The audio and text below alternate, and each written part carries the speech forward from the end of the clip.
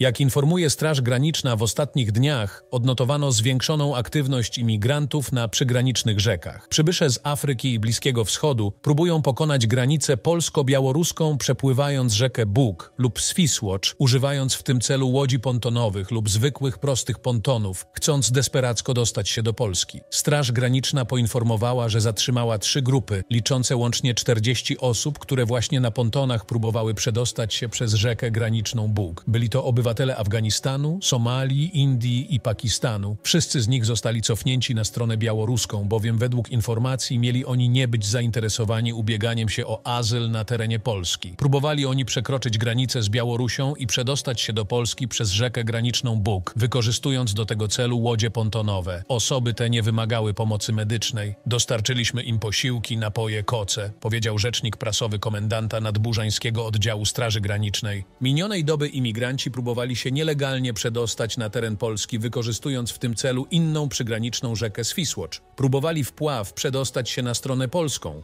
jednak nasze służby udaremniły tę próbę. Ogólnie ostatniej doby odnotowano około 80 prób przekroczenia granicy polsko-białoruskiej przez imigrantów. Zatrzymano też jednego kuriera, który zajmował się pomocnictwem w tym procederze. Jak się okazało, był to obywatel Europy, który wbrew przepisom próbował przewieźć pięciu Afgańczyków, którym udało się nielegalnie przedostać się z Białorusi do Polski, pokonując graniczne zabezpieczenia. Od początku tego roku Podlaski Oddział Straży Granicznej zatrzymał już 226 przemytników, którzy organizowali nielegalne przekroczenia granicy. Z danych Podlaskiego Oddziału SG wynika, że od początku roku było w Podlaskiem około 22 tysiące prób nielegalnego przekroczenia granicy z Białorusi do Polski.